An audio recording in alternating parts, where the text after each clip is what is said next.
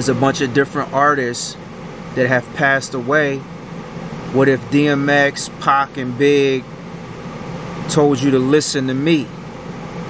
And Triple X, and I named some other names Juice WRLD, Pop Smoke.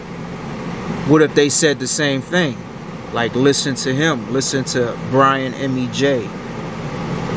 Because they've passed on from this temporary, uh, you know, time and and experience that we are living in right now. So they know about the spiritual realm and eternity, and they can tell you from their eternal experience, like, listen to what he's saying.